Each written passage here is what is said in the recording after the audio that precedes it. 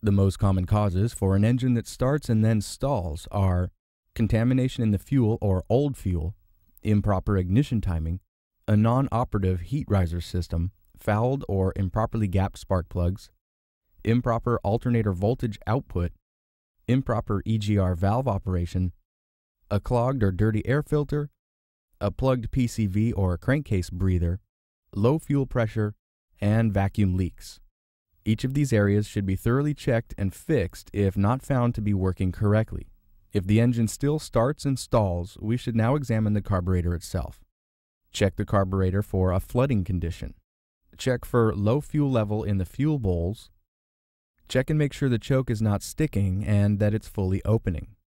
If the engine is starting and stalling on cold startups, check and reset the fast idle setting and fast idle cam.